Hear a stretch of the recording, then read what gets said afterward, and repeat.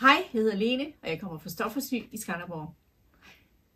Jeg har syet den her fine kjole fra Fibermood, og den har den her lille indsats.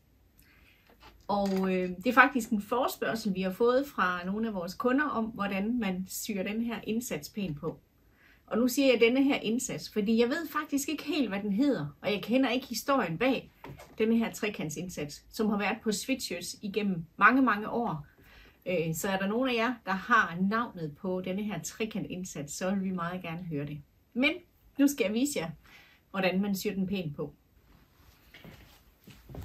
I bund og grund er der ikke noget i den. Der er ikke nogen fason eller noget. Og jeg har her min halsudskæring, og jeg har min lille trekantsindsats. Og den bliver lagt ovenpå. Så der er ikke noget fason i det, og den er ikke sådan syet ind. Den bliver simpelthen lagt ovenpå.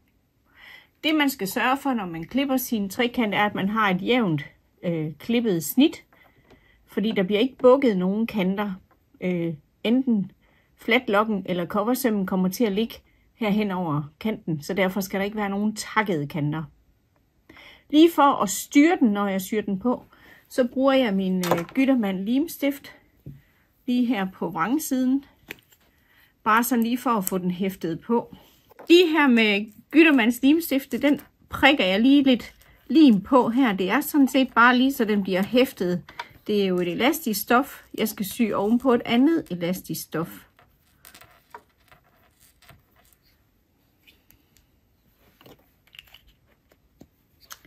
Sådan der. Og så har vi som regel et midt for hak og et midt for hak i trekanten, hvor vi placerer efter, så den bliver centreret her i midten. Og så trykker jeg den lige godt på her.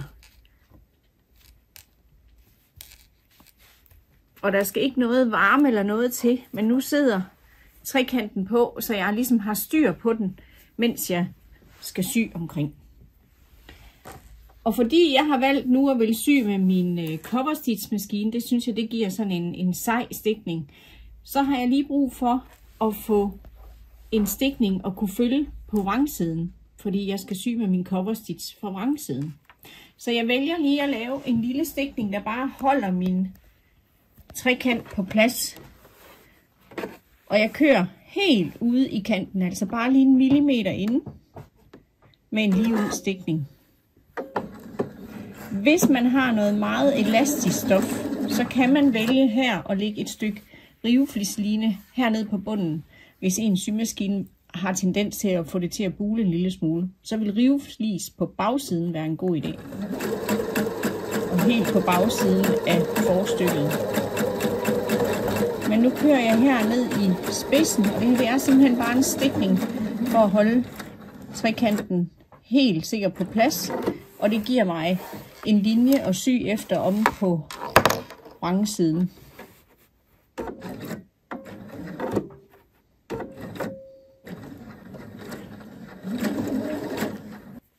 Så har jeg styr på min indsatser med en lige stikning.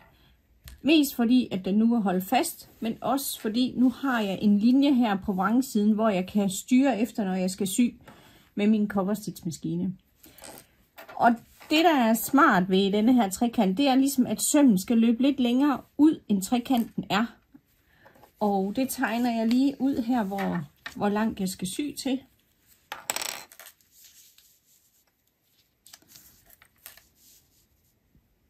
Sådan cirka 3 cm længere ud.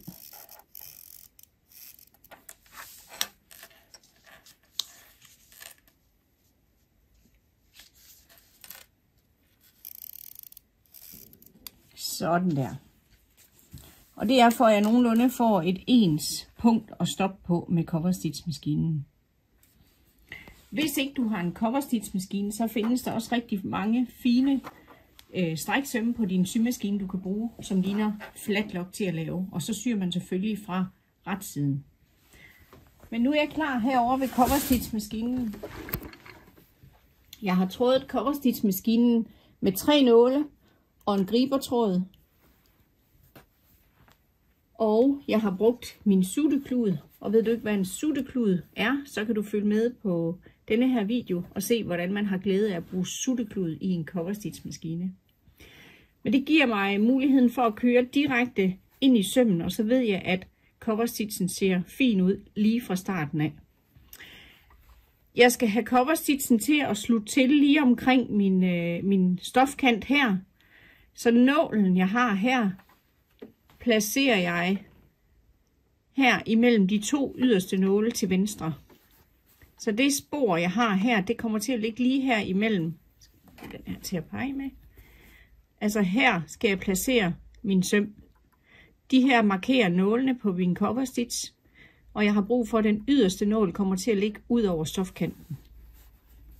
Det er ikke sikkert, at man rammer plet i første hug. Der skal måske lidt øvelse til.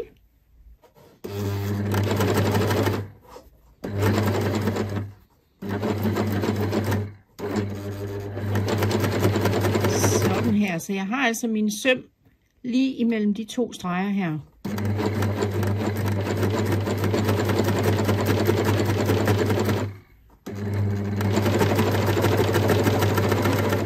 Og så kører jeg ud og stopper, hvor min kridtstreg stopper.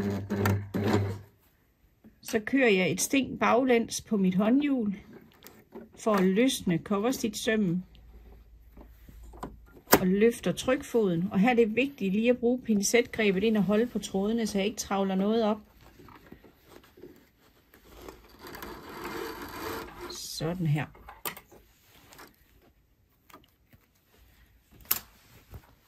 Og så har jeg nu en coverstitch søm, der ligger lige præcis ud over kanten på min indsats og stopper hernede. Så laver jeg lige den anden søm på samme måde. Så er jeg klar til at sy den anden stikning. Og der har jeg så sømmen til den anden side, det vil sige, at min stikning ligger imellem de to nåle til højre. Så jeg skal placere min stikning her imellem de to streger til højre. Og så ellers samme procedure.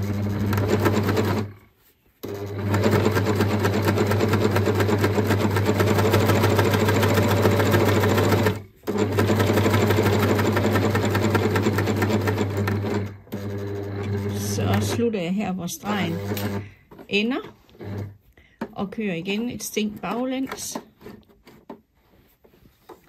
Løfter trykfoden og bruger pincetgrebet her med fingrene og trækker min cover stitch ud. Og så har jeg her igen en fin kant lige i kanten af min indsats. Og det, der skal til nu, er, at jeg skal have en øh, håndsynål, have trådet herpå og trække trådet om på vrangsiden, og så hæfter jeg ved at binde knuder herom på vrangsiden, så mine ender ikke stikker af. Og så får det det look, som jeg har her, med en fin afslutning i coversømmen. Så en meget lille detalje, men giver utrolig finish, hvis I laver sweatshirts, hoodies, kjoler som her. Så rigtig god fornøjelse med jeres V-indsats, eller hvad den nu hedder.